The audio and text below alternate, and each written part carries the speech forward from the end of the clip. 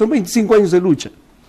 25 años que hemos permanecido viendo, viendo las arbitrariedades, las violaciones a los derechos humanos consecutivamente que se vienen dando aquí en nuestra ciudad de Loja. Él, él pues, él, se, se puso en contra de nosotros porque nosotros veníamos ocupando un predio de la Quinta Leonor, legalmente arrendados y constituidos como organización jurídicamente a nivel nacional.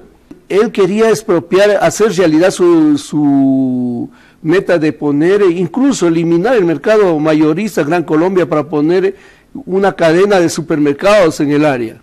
Y como nosotros éramos un obstáculo y una piedra en el zapato como inquilinos de la Quinta Leonor del Seguro Social, él lo que quería era desaparecernos de ahí a como de lugar. Él envió una carta a ese entonces director de Seguro Social, a Chiriboga, donde le invitaba a ser socio eh, de, de la cadena de supermercados que iban a ver ahí y accionista como él lo iba a hacer. Ya, pero que si es que nos eliminaba nuestro contrato y nos quitaba el terreno.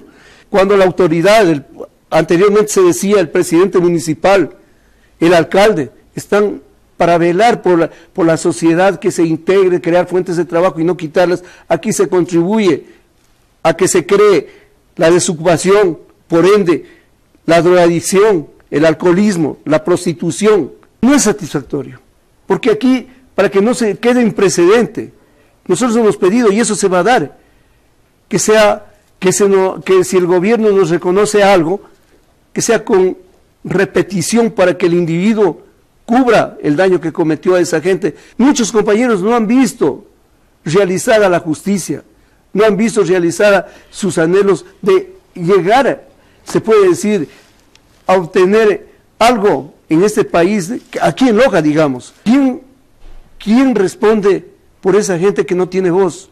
Entonces no es satisfactorio, porque tiene que llegar la judicialización y responder y probar que somos delincuentes.